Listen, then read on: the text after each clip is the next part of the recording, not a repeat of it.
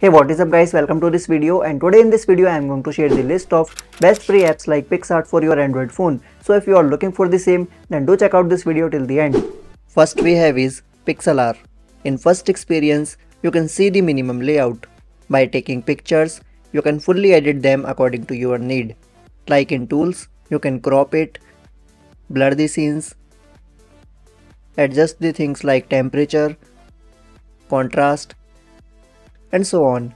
Also you can use the brushes to make your photo more attractive. Great effects, overlay and styles are here. You can check out the stickers and borders. Here you can add text to image. Also you can try the templates. So if you like it then check out the link in the description box. Second one is Snapseed. Too simple to use. Tap on plus button then select the image that you want to edit.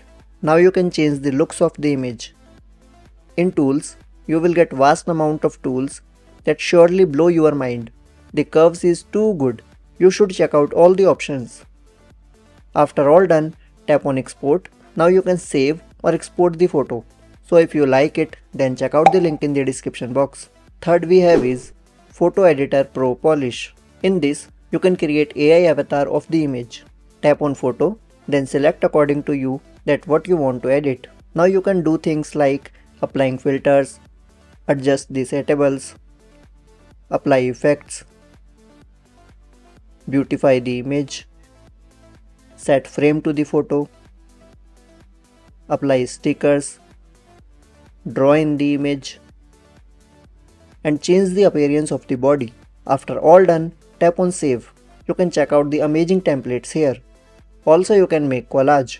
So if you like it, then check out the link in the description box. Hey wait, before moving forward, please like this video because your likes motivate me to create more amazing content just like this one. Fourth we have is Photo Studio. I think it have the best UI until yet and the organizing of the tools is too decent. Simply select the tools and image and apply it according to you. Also you can make collage here. In empty layer option, you can create a layer and edit it according to your need. In add-ons, you will get most amazing frames, effects, stickers and so on. Here you can check out the presets. So if you like it, then check out the link in the description box. Last one is Canva. Best overall. Along with the image editing, you can do attractive things like creating social media posts, stories, logos, posters and much more. Tap on plus button, select the image from your media then tap on edit option. Now you have the full access for editing like set the filters, effects,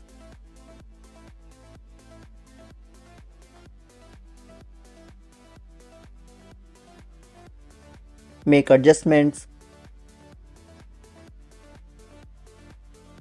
and crop the image.